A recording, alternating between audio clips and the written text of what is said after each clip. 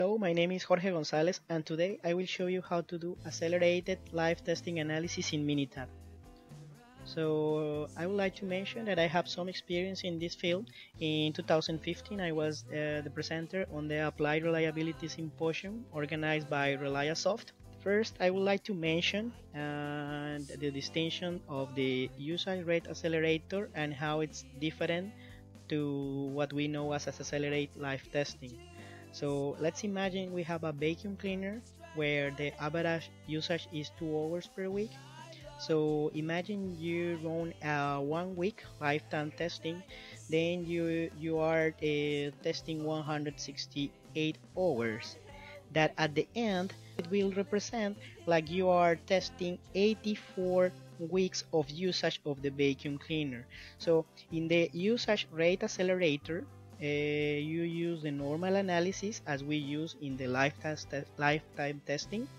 And in the other hand we have uh, products where we have a high usage rate like the fridge right? So the fridge are always running. And how we accelerate this kind of products? So basically there are different type of accelerate factors. Uh, some of the most common factors it's temperature pressure humidity voltage and vibration. So these these are the factors that are being uh, used in order to accelerate the lifetime and to do analysis uh, in a short period. So basically how how this works uh, this uh, then it's always about uh, how to create mathematical models. In this example for example we have the normal usage of a product and then we are accelerating the, the, the aging or aging the product in a way that we are getting the failures faster. And then we are creating a model uh, to um, extrapolate uh, the usage uh, to the normal levels. So basically there are different types of uh, regressions models for doing this. Uh, one of the most common is the Arrhenius uh, model. Uh, so this is commonly used for temperature, temp when the accelerate factor is temperature. Also we have the inverse temperature um, model so here, the, here is an alternative for the Arrhenius when, when the accelerate factor is the temperature. Other is the linear. In this case, uh, well, mainly it's commonly used with voltage um, and, and there is a linear regression. Here we have the uh, logarithmic, natural logarithmic. So this, uh, in this case, uh, this type of regression is commonly used for a compression or tension so let's let's do a practical exercise using Minitab. For this practical exercise, uh, you will need 15 clips uh, and we will use the angle of the clip as accelerator factor. So we will use three levels of accelerator factor. Then will be uh, 45, uh, 90 degrees and 180 degrees. So then you will pull the, the clip onto the desired uh, angle and this will represent half a cycle and then you will, you will push back the, the clip to the normal position and this will account as a complete cycle. You will do this uh, until until the, the clip is breaking.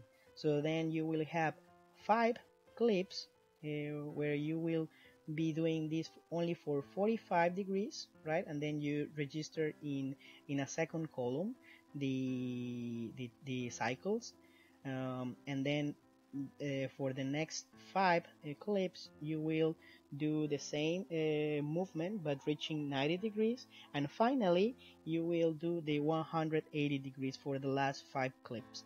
So then you will have in the first column you will have the accelerator factor and in the second column you will have the uh, cycles until the failure. Final objective of this exercise will be to understand the reliability of the clip in the design value that will be around 5 degrees. Uh, and imagine how much it takes for a company that is producing clips uh, to make a lifetime testing using only 5 degrees. It will take too much time and effort and that's why this accelerate life testing help us to decrease the time of analysis. Here we have in, in Minitab the our data. In the first column we have the accelerate factor in degrees and in the second column we have the cycles to failure. So then in the first uh, sample we test a clip.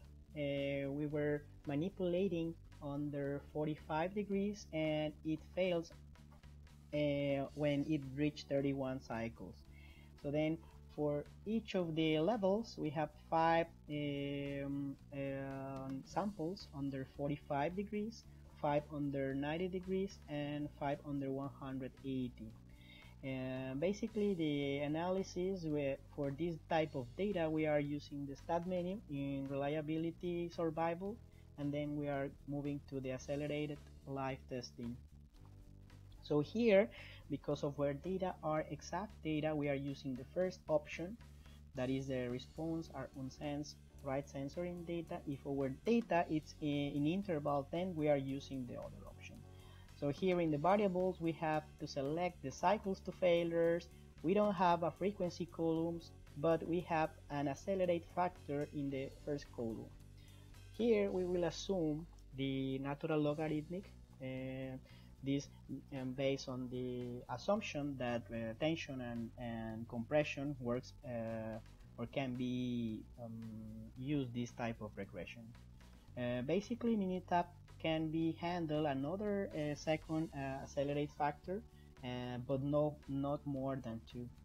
And here we can play, and we will be playing with different um, distributions in order to see which of the distribution fits better the data. So first maybe we can use the Weibull that is the most common and, and very popular used and here in the estimate uh, menu we will place a 5 so here uh, in the enter new predictor values we need to place at uh, which uh, degrees it's planned to work a clip. So more or less 5 degrees I believe a clip is the design value of a clip 5 degrees. And here uh, we are placing the um, cumulative uh, distribution failures. So here we are requesting how many cycles it will take to fail 50% of the clips. We can ask as well 90 and we can also ask for 95 so here uh, I think it's uh, all that we need to do. We, we are working with this uh, confidence level for sure. Our confidence level will be huge uh, because of low quantity of samples and, and, and high confidence level. Um, we can work with 90 to, to reduce a little bit the the uh, the, the, huge uh, width of the confidence level. Then we click OK, and in the graph uh, here also we will uh, need to define the 5 so the design value of a clip is 5 degrees. And there are other options uh, in order to, to test how good is our uh, models but I believe with this is enough and I will explain you. Uh, I believe in option ev everything is set and then we will click OK.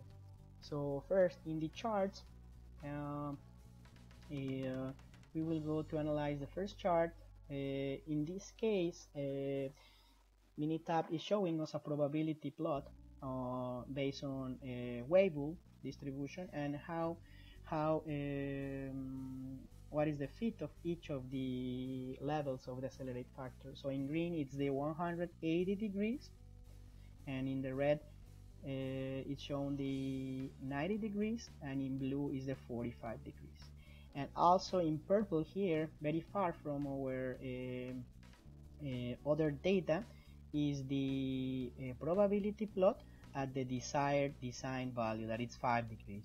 So here also is working with some uh, confidence levels uh, that we place at 90% and well the most important uh, to, to check here is the Anderson-Darling statistic. As I, I, I, mentioned so Minitab right now is working with maximum likelihood and the maximum likelihood is giving us the Anderson-Darling statistic so here we are looking for very low values close to zero um, and, and then for sure we can test another distribution to see if we can get better or lower Anderson-Darling. So the second the second chart that Minitab is giving us, it's uh, showing us the the relation plot, and this is related. In the y-axis we have the cycles to failure, and in the x-axis we have the accelerate factors in degrees. So as you may know, we were we were uh, testing uh, more or less uh, the under here. We were testing 45 degrees, 90 degrees. So all the data were here, and and the relation plot is already applying the the logarithmic regression in order to giving us a prediction on uh, each of the interval. Um, we will go to the session folder to, to check what, other thing is giving us Minitab. So Minitab is giving us by default uh, the maximum likelihood as I already mentioned uh, and then we are assuming a Weibull distribution and then also we are uh, defining that the uh, accelerate variable uh, relationship will be a natural logarithm. Here Minitab is showing us the coefficient of the regression. And here the most important thing in the ALT analysis I believe it's the log likelihood. Here we are getting a minus 37 when we are using Weibull and and then we are using for the regression the logarithmic. So here this, this statistic as close to zero is the better. Also uh, here uh, Minitab showing us the Anderson-Darling of, of each of the levels and here at the last a table of percentiles at the desired design value that we define as this is the 5 degrees. So here how we can uh, understand this is that 50% uh, of the clips uh, more or less at the design value will fail before 386 cycles Uh, 90% of the clips will fail before 537 cycles and 95% of the clips will fail before 578 cycles. And here also Minitab it's giving us with the confidence interval that you can see really it's a huge interval right because of the number of, of samples and the confidence level that we are requesting but this is what we have so what we can do is to play with different distributions first in order to see if we can get uh, a, low, a lower Anderson-Darling and for for uh, if we are getting lower Anderson-Darling we expect that the log likelihood will be closer to zero. Let's try to to go to the um, uh, last dialog and here instead of the Weibull let's try uh, let's say log normal. So let's see how how this change. So here uh, what we can compare is Anderson-Darling we can check in the probability plots. If we do the a layout tool here in order to to merge we, we can compare the Weibull together with the log normal and the Anderson-Darling so in this case uh, if you check the Anderson-Darling it, it, seems that the log normal fits better the data than we so here uh, for sure this also will give us uh, a better uh, statistic on the regression. So if we can go to the, charts uh, created and then we go to the relation plot or the session folder then we can see that here we are getting a minus 36 that it's even uh, a little bit closer to zero that the one that we get uh, with the Weibull. Here in the Weibull, uh, we were getting the minus 37 and here we are uh, getting a minus 36 and for sure we can do uh, and try others uh, but I think this will take too much time. So basically this is how you play first to doing um, a check on the distribution of the data and later if you don't feel confidence with the logarithmic uh, uh, relationship you can also try Arrhenius. Remember uh, Arrhenius it's a better uh, uh, or most commonly used for temperature uh, but also you can test right log normal together with a Arrhenius relationship and check if the statistic uh, it's uh, decreasing or getting close to zero. In this case we are getting a minus 36.13 very close with the other that we got right? So so um, here we were getting minus 36.7 so what does it mean that the yeah it seems that the Arrhenius uh, regression is fitting better just as a summary, I would like to mention that first we focus on the uh, distribution model. So try to play with the dif different distribution models and getting the lowest Anderson-Darling. And later on, we are moving to our regression model that in Minitabs we can only play with four right so also you can play with this it's also important that uh, you realize that further as further we are from the design values the most risks that the that we are taking because of the extrapolation of our data but this is not an option. This is uh, the case on reliability. This is a risk that, that we need to take. And and well in this case of the CLIPS uh, you can see here the design value. So this will be the confidence level. So between 40 and 82 cycles will stand right? So this is it for today. So hope you like this video and if you would like to to get more of my videos please subscribe